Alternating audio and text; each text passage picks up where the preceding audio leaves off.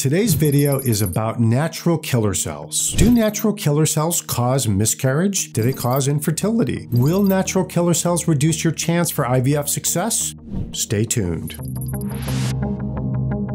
First, what are natural killer cells? Natural killer cells, or NK cells, are a type of white blood cells. Cells in the body can be categorized by molecules on their surface. Based on this, NK cells are divided into two groups. One group is found almost exclusively in the blood. These are called PNK cells. The other group is known as UNK cells, and they're found in the endometrium, which is the lining of the uterus. Many years ago, doctors measured blood tests of various types to assess PNK cells in the hopes that they might be useful for identifying people at greater risk for miscarriage. These blood tests are completely useless. The first important fact to know is that the levels in the blood do not indicate the levels in the uterine lining. Despite the fact that they have similar sounding names, these cells have completely different functions. If your doctor is recommending a blood test for NK cells, it's time to get a second opinion. What about uterine NK cells? There are a lot of these cells in the uterine lining, but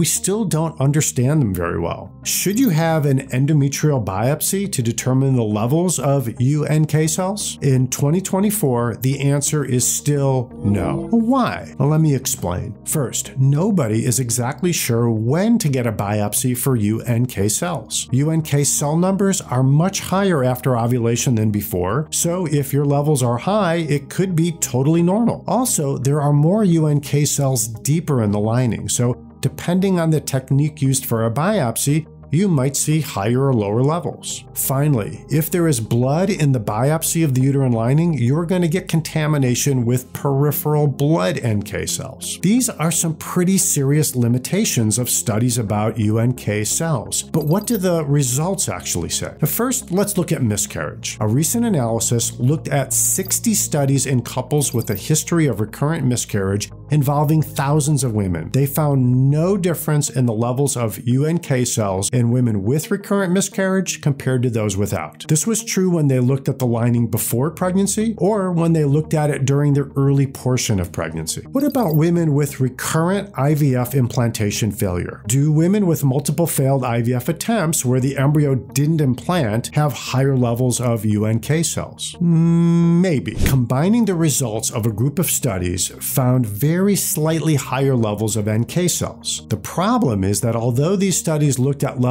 from an endometrial biopsy, they did not do the testing necessary to exclude NK cell contamination from the blood. All of the studies I have talked about so far were comparisons of people who had a past history of either recurrent miscarriage or implantation failure. What about studies in which they compared the future live birth rates in people who had high levels of UNK cells. In other words, once we have found a possibly high risk group, does this test actually predict people who are less likely to have a live birth? Unfortunately, there are far fewer studies that have looked at this, but so far, high UNK levels in people with a history of recurrent miscarriage or IVF implantation failure have the same live birth rates as people with lower levels. Our infertility TV bottom line is this blood testing for Cells is useless. Performing endometrial biopsies for UNK cells is fraught with problems. As a result, there is no evidence in 2024 that this predicts a worse outcome. Neither the European Society for Human Reproduction nor